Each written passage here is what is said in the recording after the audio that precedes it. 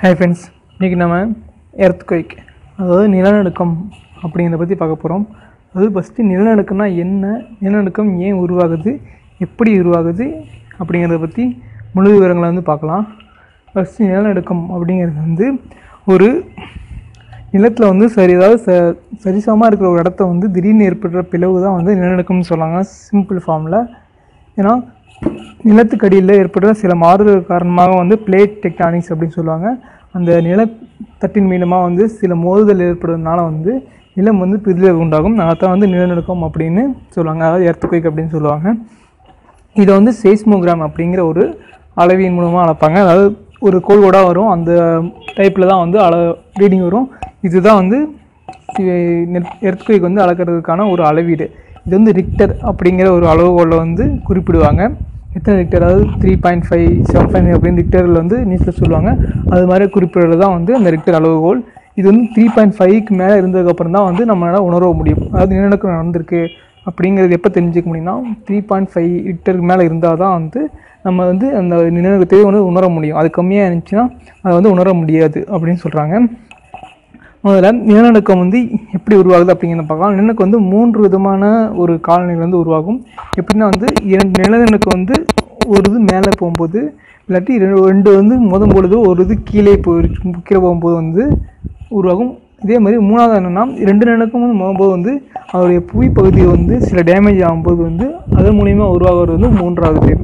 இதில் வந்து முதல் இரண்டை விட மூன்றாவது வந்து அதிகமாக பாதிப்பு ஏற்படுத்துவதாக சொல்கிறாங்க நிலநடுக்கம் எடுக்கும்போது வந்து எஸ் அலைகள் பி அலைகள் அப்படின்னு நிறைய அலைகள் இருக்குது அதில் வந்து பி அதாவது பிரைமரி ரேடியேஷன் சொல்லுவாங்க. அதை வந்து ஸ்ட்ரெயிட்டாக பாயிண்ட் இல்லாமல் ஸ்ட்ரெயிட்டாக வந்து அட்டாக் பண்ணி மேலே வந்து பிளவு ஏற்படுத்துறது வந்து பி அலைகள்னு சொல்லுவாங்க.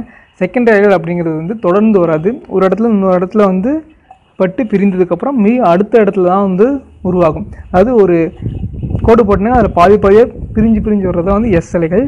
இதில் வந்து லாங்க்ரி அலைகள் அப்படின்னு ஒன்று இருக்குது அது வந்து அதிகமாக வந்து பாதிப்பை ஏற்படுத்தும். இது வந்து மூணு தான் வந்து நிலப்பகுதி நம்ம பிரிச்சிருக்கலாம். அதாவது மேற்பகுதி நடுப்பகுதி கீழ்ப்பகுதி அப்படின்னு பிரிக்கலாம். அது கே மேற்பகுதி வந்து லித்தோஸ்பியர் அதாவது மேலே பாறைகள் இதெல்லாம் மண் இதெல்லாம் இருக்கிறதா வந்து லித்தோஸ்பியர் அப்படின்னு சொல்லுவாங்க. இது கீழே இருக்கிறது வந்து கருவம் அப்படின்னு சொல்லுவாங்க. அதாவது இது கனிம பொருள்கள் கனிமங்கள் இதெல்லாம் அதிகமாக இருக்கிறத வந்து கருவம் சொல்லுவாங்க. அதே மாதிரி கீழே மூன்றாவது இருக்கிறது வந்து மேக்மா அப்படின்னு சொல்லுவாங்க. அது வந்து ஒரு குழம்பு ரேடில் பகுதியிலே இருக்கும்.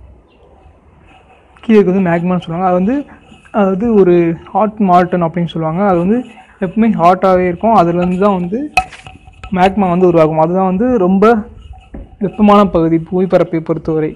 அதன் பிறகு அது மே நம்ம மேலே பாருங்க வித்தியாச பேர்லாம் வந்து நம்ம நிலநடுக்கம் வரும்போது வந்து பெரிய பகுதியை வந்து பிரிக்கும்.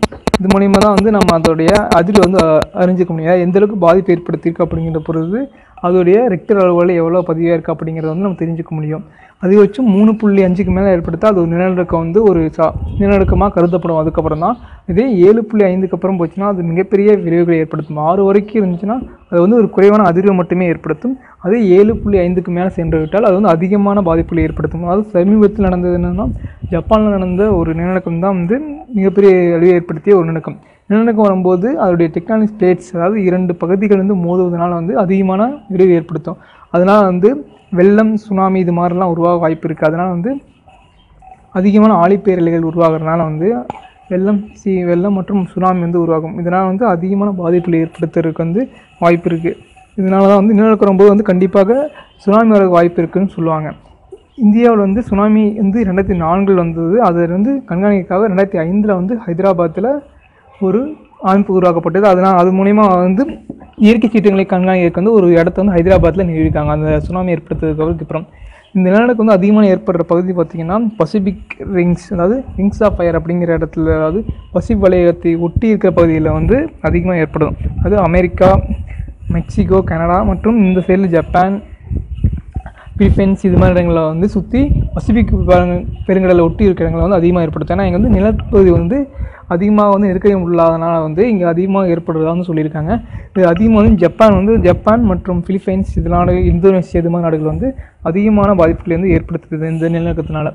இ- இமயமலை வந்து நம்முடைய இ- அதிகமான அழுத்தத்தின் காரணமாக ஆசியாவோட தட்டையும் ஐரோப்பா தட்டையும் வந்து சேர்ந்து இணைப்பதன் மூலமாக உருவானதான் வந்து இந்த- இமயமலை. ஏன்னா வந்து ஒரு ஃபோர்ஸ் காரணமாக வந்து அதிக வேகத்தில் போய் யூரோப்பிய தட்டை வந்து மோதுனால வந்து உருவானதான் அந்த இமயமலை. ஏன்னா இமயமலை வந்து இன்னும் வளர்ந்து கொண்டே இருக்குது அப்படின்னு சொல்கிறாங்க ஏன்னா அதோடைய அழுத்தம் காரணமாக வந்து இன்னும் ஆயிரத்தி ஐநூறு கிலோமீட்டர் வரைக்கும் கூட அது வளர்றதுக்கு வாய்ப்பு இருக்குது அப்படின்னு சொல்கிறாங்க வருடத்திற்கு பத்து சென்டிமீட்டர் அளவுக்கு உயர்ந்து கொண்டே இருக்கிறதாகவும் சொல்லிட்டு இருக்காங்க.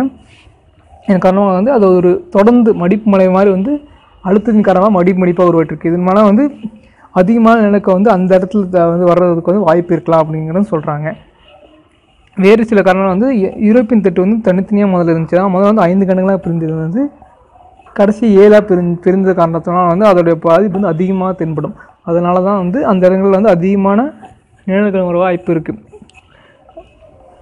மேலும் ஊரில் வந்து ம- வருடத்திற்கு அஞ்சு லட்சம் அதிகமான நிலநடுக்கம் வந்து ஏற்படுவதாகவும் அதாவது ஒரு லட்சம் மட்டுமே வந்து மனித உறவுகளாகவும் சொல்லியிருக்காங்க. தொண்ணூறு பர்சன்டேஜ் நிலநடுக்கம் வந்து தெரியாமையே போகிறது. அதில் எண்பது சதவீதத்துக்கும் அதிகமான நிலநடுக்கம் வந்து எந்த இடத்துல வருதுன்னா அது பசிபிக் ரிங்ஸை ஒட்டி ஏதாவது வந்து இந்த எண்பது சதவீத நிலநடுக்கம் வந்து நடைபெறுது. அதனால தான் அதிகமான நிலநடுக்க பாதிப்பு வந்து அங்கே ஏற்படுது. ஏன்னா ஜப்பானில் கட்டிடங்கள் வந்து நிலநடுக்கத்தை தாக்குப்பிடிக்கிற அளவுக்கு உருவாக்கப்பட்ட மாதிரி கொண்டு தான் உருவாக்கப்பட்டிருக்கு. ஏன்னா அதிகமான நிலநடுக்கத்தின் காரணமாக பாதுகாத்து கொள்வதற்காகவும் அந்த மாதிரி கட்டிடங்களை வந்து அவங்க உருவாக்கி கொண்டு இருக்கிறாங்க இது மாதிரி இதே மாதிரி ச- வட ஆப்பிரிக்கா மற்றும் அமெரிக்காவை பொருத்திய இடங்களில் வந்து இந்த நிலநடுக்கம் வந்து சுனாமி மற்றும் வெள்ளம் அதிகமாக ஏற்பட வாய்ந்து வாய்ப்பு இருக்கிறதாகவும் சொல்லியிருக்காங்க. தேங்க்யூ